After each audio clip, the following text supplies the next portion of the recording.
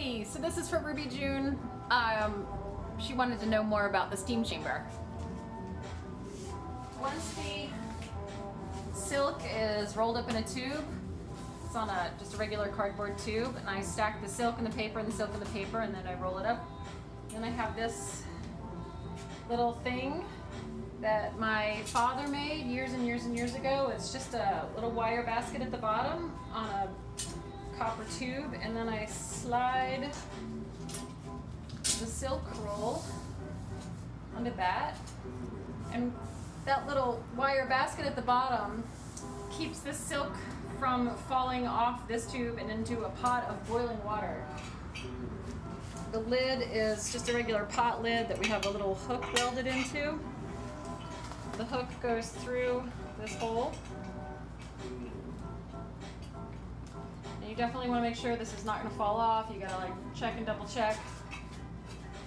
So we've got this now. And then this is the steam chamber.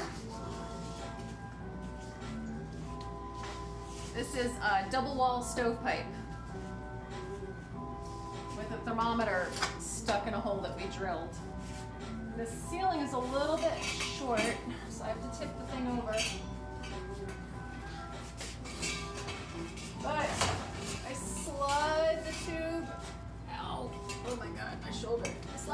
tube down in there, and the lid fits on the top right into that chamber, and now this pot of water I'll light this fire here. It's my propane tank. And then I, um, I'm actually gonna have to get my friend to help me because my shoulder hurts so bad, but um, I lift this steam chamber and put it right on top of that. And in the bottom of this, there's a, um, a ring, a silicone ring that Quill made. He uh, milled it out on a machine that fits exactly on top of that pot. And the, the point is to get steaming water to come up into this tube, but no droplets, no drips of water, nothing, because the silk is still vulnerable to water. If it gets one drop, it's gonna go through every piece and you'll have a like repeating spot every three inches. It's a nightmare.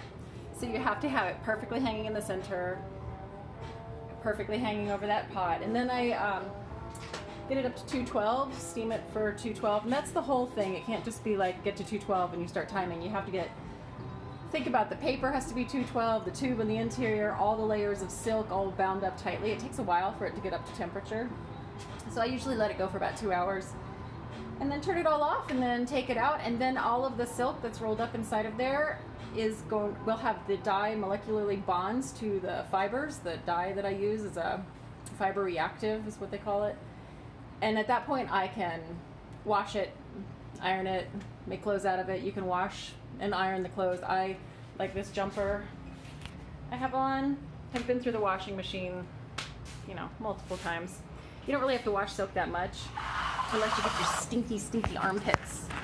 It likes to hold onto scent, but um, you know, if it's not going in there, you can uh, pretty much wear it a lot until you get it funky and then you gotta wash it. And I'm gonna, ow my God, my shoulder. That's all I'm gonna say. That's how it works. Bye.